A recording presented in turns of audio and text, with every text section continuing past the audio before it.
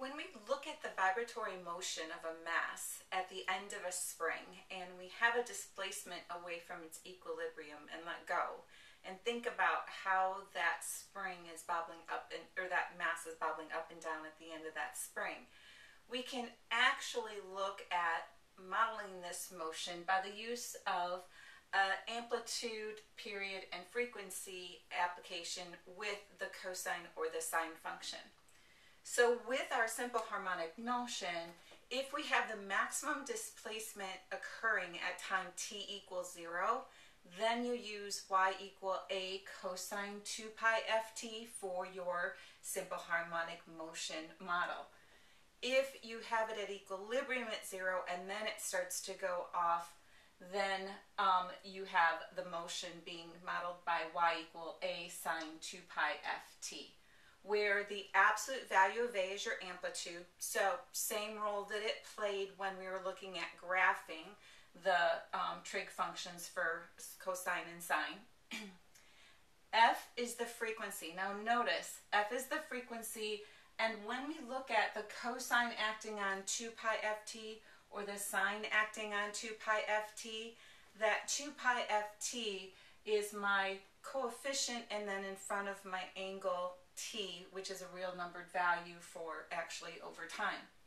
So we want to think about looking at it that way when we go to ap actual applications.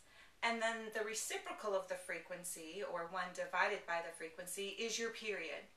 So you can connect this back to what we did when we were looking at these elements with the graphic of the trig functions as well we here are going to get the frequency first and then look at the period as the reciprocal of the frequency. But if you got the period first, you could also reciprocal that number to get you back to the frequency. Because if one number is the reciprocal of another, then it's the reciprocal of the first. So reciprocals of each other. So let's look at some examples of just identifying these components for um, four different examples. So first I have, and it's asked me to find the amplitude, the period, and the frequency of each of these simple harmonic motions. The first one is y equal 7 cosine of t over 3. So the amplitude is the absolute value of the number that's multiplied to the trig function. So the absolute value of 7 is 7. Now I want to think of this um, cosine of this angle t over 3 think of that as, well, I could write t divided by 3 as 1 third times t. So that 1 third coefficient in front of the t has to be all of this coefficient in front of the t from the original model of it. So we can start with this by saying, well, I'm going to have 1 third equal my 2 pi f, what's in front of the t, so now I'm going to divide both sides by 2 pi to be able to solve for f. And when I do that, when I'm dividing both sides by 2 pi, dividing by 2 pi is like multiplying by 1 over 2 pi, I get that my frequency is 1 over 6 pi. So that's my frequency. And then my period is just the reciprocal of that. So when I reciprocal 1 over 6 pi, I get 6 pi. Now back to that comment I made about if you were okay with finding the period with the um, or the um, period changes within our trig function graphs that we did previously, remember that if this is thought of as 1 third times t, then my period is the original period of the trig function, 2 pi for cosine, divided by that coefficient of the angle, so that's 1 third. And when I take 2 pi and divide it by 1 third, I multiply by 3, multiply by the reciprocal, and my period comes out to be the 6 pi, and then the frequency would be 1 over 6 pi. So it just depends on which way you want to look at it. You're going to get the correct answer whichever one you get first. Whether you get the period first, then reciprocal that for frequency, or whether you get the frequency first and reciprocal that for the period. Let's go to the next one. So the next one is y equal negative 4 thirds cosine of 6t. So the number multiplied to the cosine function, I'm going to take the absolute value of negative 4 thirds and that gives me a 4 thirds amplitude. With simple harmonic motion, that's your maximum displacement. The period, well, if we want to get that first, remember it's 2 pi divided by the coefficient in front of the angle, so divided by 6. When I remove the common factor of 2, I get pi over 3. Now the frequency I could do automatically from that by reciprocaling the period, so that would be 3 over pi.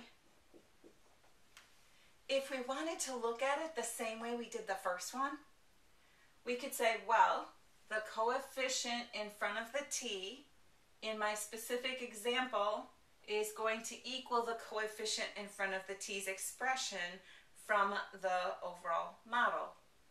So I have 2 pi f is equal to 6. Solve for f, you'll divide both sides by 2 pi. So f is equal to 6 over 2 pi and again, my common factors of 2 will remove and I'll get 3 over pi. Okay, let's go on to part 6, or sorry, part C. Okay, so let's go on to part C. My amplitude is the absolute value of 4, which is 4. My period is 2 pi over pi, the original period of sine divided by the coefficient of the angle, so that just gives me 2. So then my frequency is 1 half. Or you could say my 2 pi f has to equal pi Divide both sides by 2 pi to solve for f. f is equal to pi over 2 pi the common factors of pi's remove, leaving me a 1 in the numerator, a 2 in the denominator, which is my 1 half. And lastly, my amplitude is the absolute value of the number multiplied to the sine function, so that's the absolute value of 2, which is 2. Now think of pi t over 6 as pi over 6 times t, the coefficient times your variable. So I have 2 pi is the original period for sine divided by pi over 6, which is the coefficient in front of the angle t. So I have 2 pi over 1 times 6 over pi. And in this case, the common factors of pi will remove, and I just get 2 times 6, which is 12. And then my frequency is just the reciprocal of 12, or 112.